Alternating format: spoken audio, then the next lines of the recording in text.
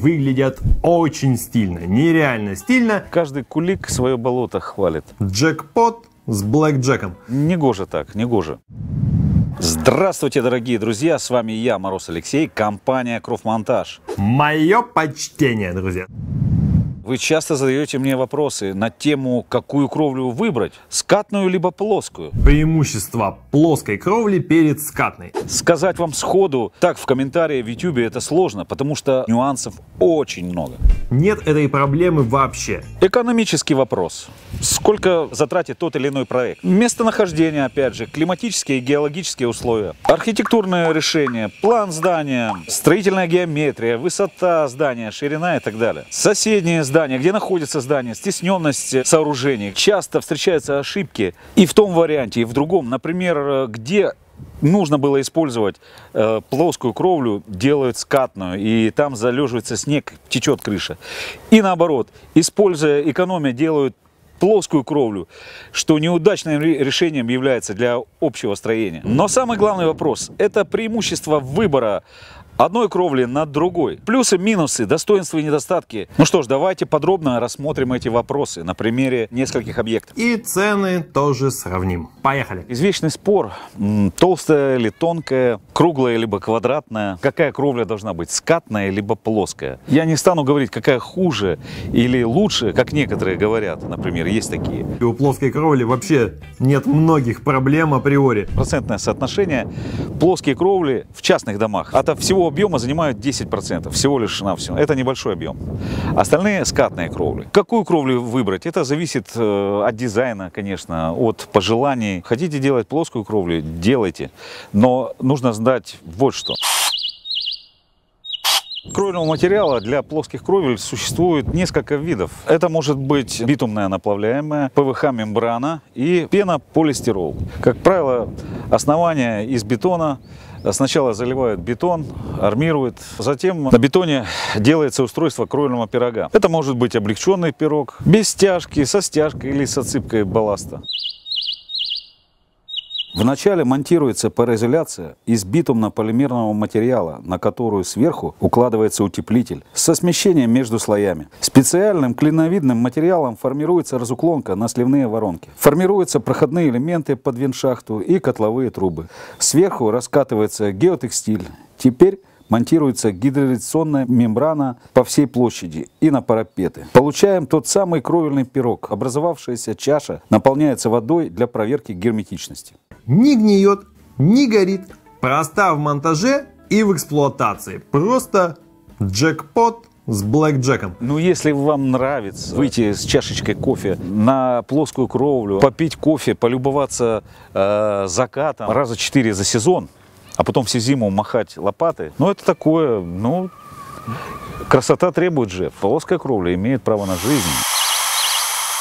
Скатная кровля имеет некий уклон, снег набирает критическую массу и сходит со скатной кровли сам под собственным весом. Могут быть и холодные чердачные, бесчердачные, мансардные, там делятся разные, многоскатные, э, вальмовые, но это уже разновидности скатных кровель. Скатная кровля имеет угол наклона.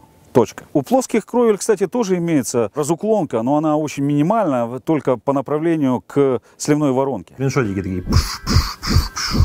Когда я путешествовал по Северной и Южной Европе, я заметил вот что. В Южной Европе, ну, например, Греция, Испания, Турция, большей частью встречаются плоские кровли. В северных широтах, наоборот, э, преобладают скатные кровли. С чем же это связано? На юге, конечно, можно себе позволить. Э, снег, если есть, то он э, очень редко и долго он не лежит. В основном дождевая вода. Ванна наполняется снегом, глыбами льда. И тем более сейчас зимы стали с частыми перепадами через ноль.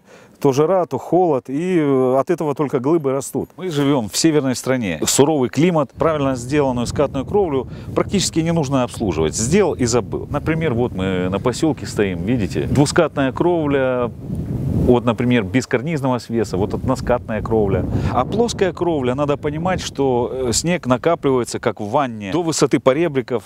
Его нужно, а, либо скидывать, э, либо обслуживать воронки, делать обогрев сливных воронок и так далее. Нужно быть к этому готовым. Скатную деревянную крышу может сделать любой Вася соседнего подъезда.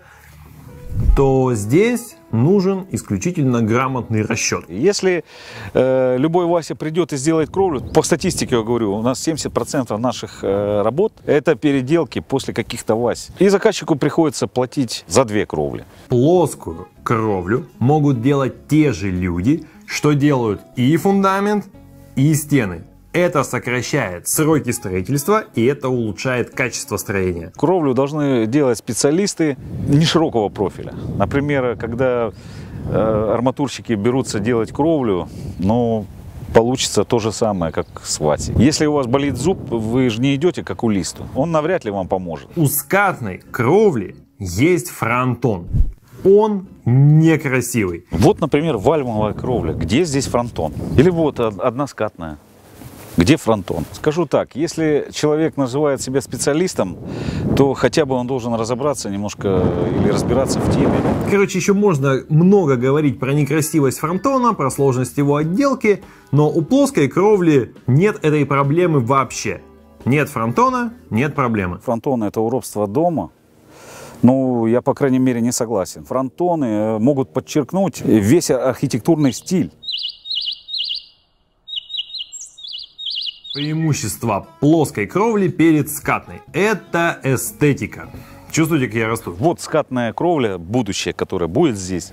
Здесь холодный чердак. Э, смотрите, огромное пространство, э, которое тоже можно использовать. Например, утеплить, сделать его жилым, обитаемым. Либо, например, чердак может послужить хорошим складом для каких-то вещей ненужных. Э, я не знаю, всегда можно найти применение. Плоская кровля, она хороша, по моему мнению, а, особенно пользуется спросом какие-то административные здания, цеха, предприятия и так далее. Ну, также и частное домовладение, но я считаю, что в наших широтах предпочтительная скатная кровля. Э, хотя плоские кровли, концепция, общий проект я встречал очень красивые дома, продуманные бомбические, но они требуют э, повышенного обслуживания и постоянной профилактики, обогрева воронок, чистки снега и так далее. Срок гарантийный э, в нашей стране, он такой уменьшенный. Через лет 10 требуется такой диагностический ремонт такой кровли. У плоской кровли есть всего два слабых места, два узла. Это на примыкании к парапету и на примыкании к воронке. Это места, где она может потечь. В качестве обслуживания и профилактики и гарантийного ремонта скатная кровля значительно выигрывает у плоской. Ходить на этих открытых террасах, откуда с верхних крыш сваливается снег, э, по фасаду текут э, ручьи э, талой воды и так далее. Люди через пару лет поиграются в эту чашечку кофе и приходят к выводу, что они поставить ли нам какой-нибудь скатный навесик все-таки сверху. Север, Россия. Причем снег штука такая достаточно тяжелая. Куб снега весит 100 килограмм. Плоскую кровлю никогда не поздно сделать с нее скатную. Надстроить сделать э, простую двускатную, либо вальмовую кровлю, четырехскатную э, на этот парапет. И вуаля, еще у вас э, плюс чердак, либо мансарда, желая вставить мансардные окна. Что касаемо стоимости сопоставить плоскую со скатной, я бы их приравнял. Почему? Потому что скатная кровля, она всегда больше будет по площади из-за своей формы, да, скажем, вальма, двускатная. Плоская кровля по площади Э, пятна застройки здания да, э, по фундаменту. А скатная, она всегда по площади больше, плюс карнизы выходят за стены дома и так далее. Поэтому в таком соотношении они где-то приравниваются. Может быть по цене выбор не критичен, но в качестве обслуживания и профилактики и гарантийного ремонта скатная кровля значительно выигрывает у плоской. В нашем климате, конечно, я говорю о России. Джекпот с блэкджеком. И не надо слушать псевдоспециалистов. Я вам скажу так, что как и ту, и другую некомпетентные строители одинаково хорошо портят. А специалисты хорошо сделают любую свою работу. Выбор всегда за вами. С вами был Мороз Алексей, компания Кровмонтаж. Пока. От души, друзья.